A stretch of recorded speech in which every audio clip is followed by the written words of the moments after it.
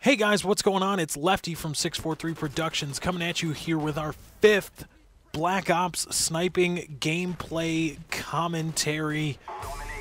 I got a few requests uh, from my last video when I talked about the PSG-1. I got a few requests for some PSG-1 gameplay. So I was I've been spent the last day or so of my playing time actively searching for you for some YouTube worthy a YouTube worthy game where I use the PSG-1 and I found one in this ground war domination match on Villa. And anyway, I got a couple things I want to get to today. Um, one of which first off is like I've been saying for the last couple of uh, gameplay videos, thank you very much to Snipinator uh, and his channel, Snipinator Gaming, for uh, recognizing me and putting one of my videos up on his channel. And thank you to everybody that came over from his channel to subscribe to my channel and everybody that's been viewing my my videos and all that. But one thing I've noticed is that the subscriptions have kind of trailed off to my channel and so have the views and so have the comments and all that. Now i'm not knocking you guys. To everybody watching this video i'm not knocking you and i'm not saying i'm not happy with where my channel is at. I mean especially when considering where i came from i am not saying that i am not happy and i am not saying that i am not grateful to, to everybody to snipinator and to, to every single one of you that came over from his channel and watched my video and subscribed to mine. I'm not saying I'm not grateful.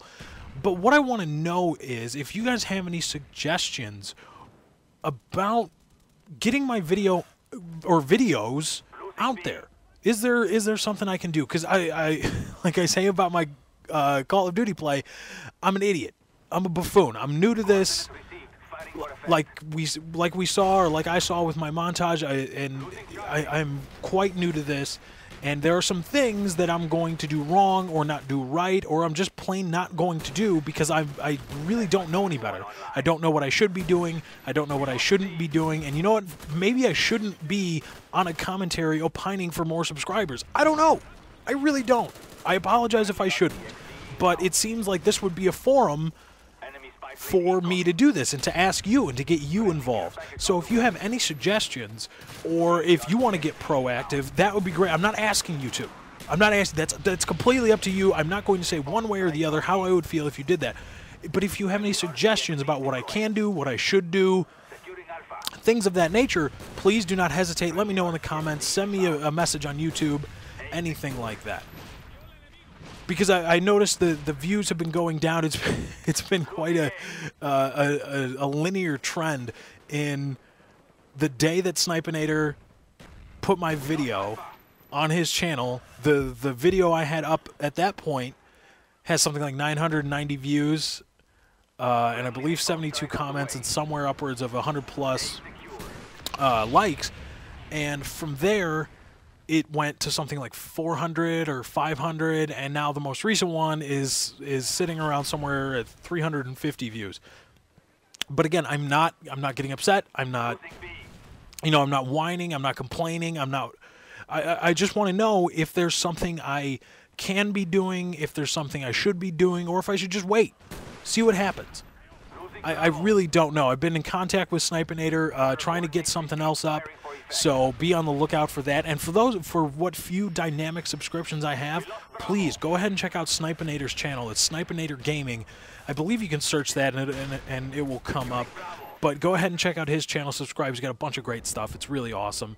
Uh, I, I've been entertained by many of his videos, and, and he was part of the reason and commentators like him was part of the reason that I wanted to get into this this whole thing.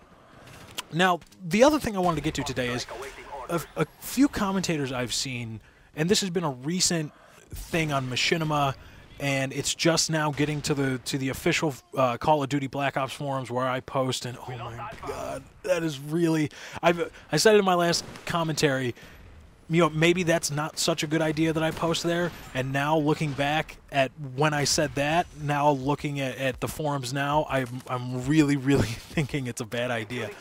But it's just now getting there, and that's camping. And a lot of people were have been talking about this since the game dropped, whether camping is as much of a problem or an issue as it is or was in Modern Warfare 2. Now, I'm not going to, to go through my definitions of camping. Uh, I have a good rule of thumb that I try to use. It doesn't apply in all cases, okay? I'm not saying it does. If you think it applies to you and you have some, uh, you know, argument to, to, give back to me about your, your camping ways, you know, I'm not saying you're a camper, but here's my rule of thumb. If you have to explain to people that you aren't camp camping, you're just playing defensively and playing smart, you're a camper. Okay? If you have to do that more often than not, you are a camper. That's just the way it is. It, again, like I said, it doesn't apply in all cases. It doesn't apply to everybody. There are exceptions to this rule, just like any other. That's the that's the rule of thumb that I use. But one of the big centerpieces of this entire argument is that the unstacking of the kill streaks has reduced a lot of the camping. The argument is that Modern Warfare 2, kids would camp to get their five or seven kill streaks, then let the kill streaks do all the work so they can go 30 and 0, 30 and 2, whatever. And the the removal of the stacking kill streaks has resulted in a lot less camping. And from playing both, this may not be true on the whole, but just my personal experience, and I understand that it's just my personal experience and it's a sample size of one, but just my personal experience, camping, I would say, is at least as bad as it, as bad as it was in Modern Warfare 2, if not worse.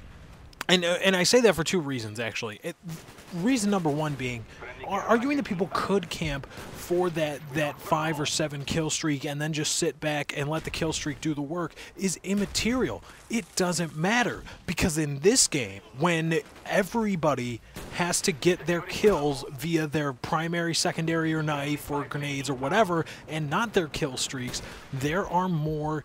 I, I guess you could say kills available to camp for right? Because think about it. If, if, in Modern Warfare 2, if you camp for five kills and got your Predator missile, you could get well. Let's say you got really lucky and you got a you got a quad Predator missile. That would be your Pave Low right there. So you would only camp for five kills and then you get your Predator missile. Now, if you wanted to get your Huey in Black Ops, you ha- you would have to camp for all nine kills, assuming that that in each game, uh, uh, you know, how many kills is somebody going to have to camp for to get to a certain kill streak? You're going to have to camp for more kills in Black Ops than you would in Modern Warfare 2. So it's it's really just like a like an illusion to say that because the kill streak stacked in Modern Warfare 2, people are more likely to camp, or there are more campers, or there were more campers. And the second reason is because in Black Ops, what they have done is refocus the game on the gunplay, refocus it on the players. If you think about it, again, the kill streaks don't stack. They've made it harder for you to to use mechanisms that don't necessarily reflect your true skill at the game and they've brought player skill to front and center now because every you can blue, view anybody's combat record. They have combat record with accuracy, with win loss, with kill to death ratio, with recent scores, recent games. You can watch anybody's recent games. So when you think about that, what is everybody going to rely more on? When everybody's killed, when everybody's stats are front and center, they're going to rely more on kill to death ratio. And when you make them rely more on kill to death ratio because everybody has this fascination with kill to death ratio, they're going to camp more to preserve their K to D because they know everybody's going to see it and everybody's going to watch it and and all these things are available to everybody else. So I, I, would say that there's more camping in Black Ops, or at least as much as there was in Modern Warfare 2, and it's not because the Modern Warfare 2 kill streak stat and the fact that it is more focused on the gunplay and the actual quote player skill, people are going to be wanting to preserve what they believe showcases that, and that is their kill to death ratio, which is preserved best by camping. All right, guys, that's my time. I got to get out of here. Thank you for joining me. I hope you enjoyed it. Uh, hit me up in the comments. Uh, once again, check out Snipinator and his channel, Snipinator Gaming. Thank you, everybody, for joining. I am out. We'll see you next time.